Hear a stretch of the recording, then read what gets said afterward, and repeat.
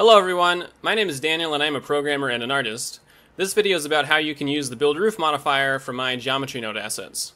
To use build roof, we will need a flat layout of where the roof should be. To start with, let's add a plane, and on the plane I will add the build roof modifier. Then I will assign it a material from the modifier panel. I want to update this to just use the objects material eventually, but for now, um, that's how it works. Resolution adds additional loop cuts along the length of the roof, before we do anything else, there are some settings that are best used as attributes, so let's create two vertex groups. We will name them height and direction. Then in the modifier settings, we will select those vertex group for the height ratio and direction properties.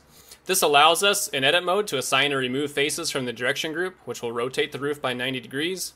And then we can also assign different weights to the height group, which will make different sections of the roof have a steeper or shallower pitch. Height scale is identical to the height ratio property. Uh, generally, you'll use one of those as an attribute, and the other will just be a global scalar to change the height of all of the roof sections in your roof. Overhang controls how far the roof extends beyond the edges of the face that it was built on, and shape makes the roof either concave or convex. You'll have to adjust the resolution setting to get the number of points in the in the curve of the roof that you need. Checking solidify will add a rim and back faces to the roof. The thickness setting controls the thickness of that solidify, and then the underside material is applied to the rim and the backside faces of that solidified part of the roof. The gable wall object should be a wall template, like the ones used by the build walls modifier.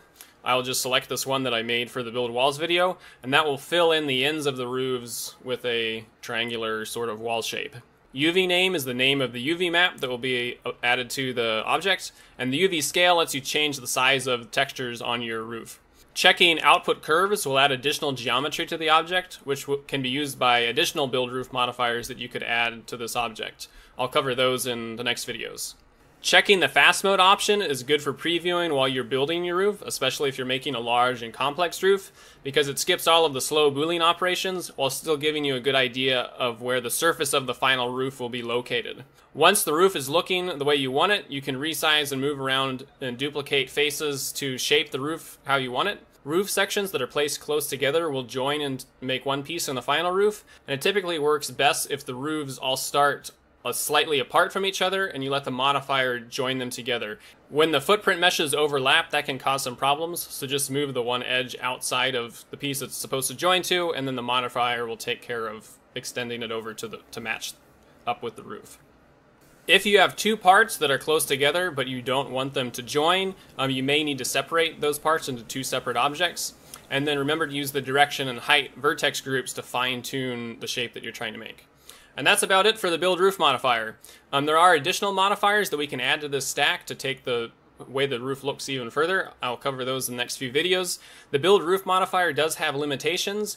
While it can make a variety of roofs, they will all have gable ends. It cannot make a roof that slopes on all four sides. And the footprint of each part of the roof must be roughly rectangular.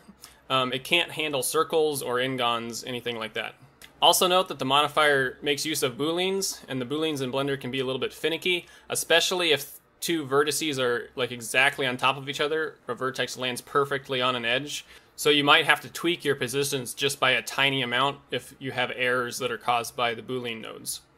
Anyway, in the description, I have a bunch of links. You can visit my website where there are more details about all of my modifiers. I have a Discord server that you're welcome to join, and there are links to where you can purchase my geometry node assets if you'd like to do that. And that's all I've got for this one. Thanks for watching.